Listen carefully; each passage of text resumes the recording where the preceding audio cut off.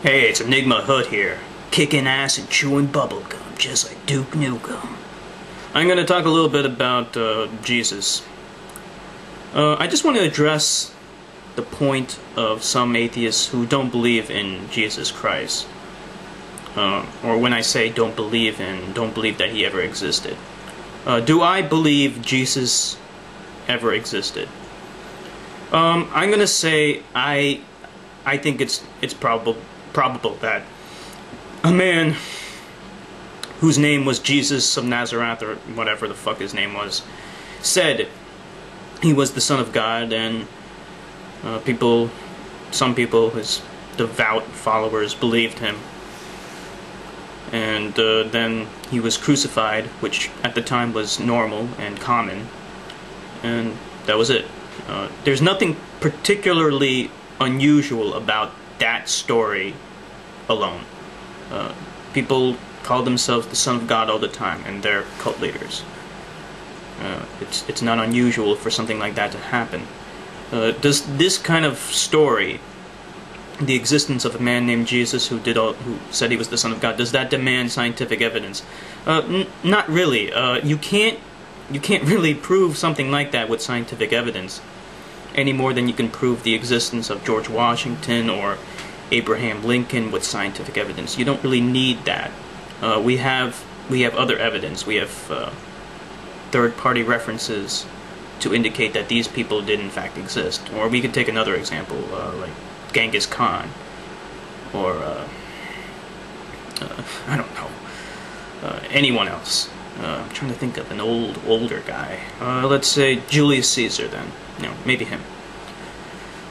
we have enough evidence from third parties, just historical texts which say that these people existed, and uh, as long as and since they existed, they have impacted history in some meaningful way, and that's enough evidence for us to say that these people did in fact exist. Uh, we don't need scientific evidence to to verify that they have existed. We don't need to have their their bones and then do DNA analysis on that. No, that's not necessary. Uh, similarly, uh, I, I do accept that a guy named Jesus probably existed and just said he was the Son of God.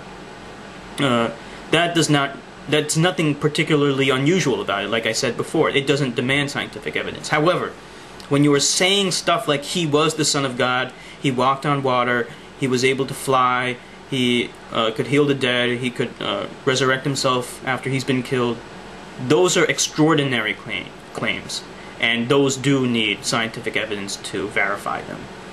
Uh, but you know those claims are not any different than the the claims of cult leaders that Jim like Jim Jones or uh, Shoko Asahara. Uh, their followers also claim that they had superpowers too.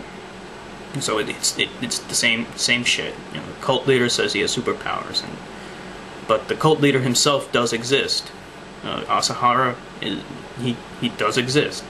Jim Jones did exist, uh, and I, I do think that probably Jesus, he probably did exist. Now, uh, if you're an atheist and you don't believe in Jesus, I'm not gonna uh, spend a good deal of my time trying to convince you that he did exist. I don't really care. If you don't want to uh, believe that he existed, that's fine. I, I don't, you know, we're, we're still both atheists, and that's more important to me. I don't really care. I'll let the, the Christians try to prove to you that he existed. Um, I guess that's all I need to say about that. Um, uh, the, the, the point is, the, the important thing to keep in mind is that whether Jesus existed or not doesn't matter. What does matter is that uh, there is no God, and obviously, if there is no God, there cannot be a son of a God. That's it.